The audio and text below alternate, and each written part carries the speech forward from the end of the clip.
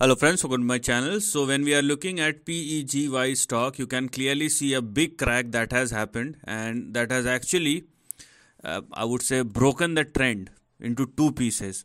And when this kind of things happens, it will take time to re repair.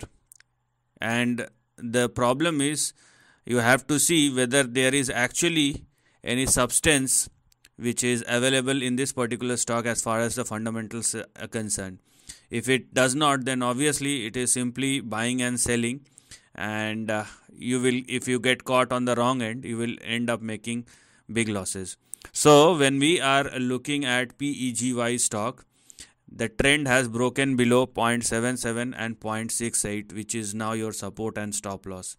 And if the stock continue to trade below 0.68 or more which it is right now and made a fresh low of 0.083 is now looking like a range in between which the stock is trading right now. But the overall trend is down and out. Number 1 number 2 it is better to avoid the range in between which the stock is trading because it will create a volatility.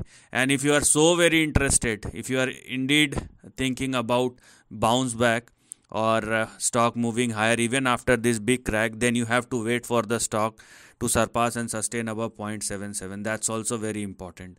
Because when we are looking at the current trend or current price chart you can clearly see that the stock is down and out from both the side okay? So there is no point looking at this particular stock right now where the trend is completely broken down and the stock is making fresh lows and taking a punt in this kind of stock thinking that this stock is uh, very cheap at the current price. It is actually not a very good idea. So please understand the consequences before thinking about the bounce back or before you are thinking that something good will happen. So take a time out or let the stock decide where it wants to go. So this is the end of the video. Thanks for watching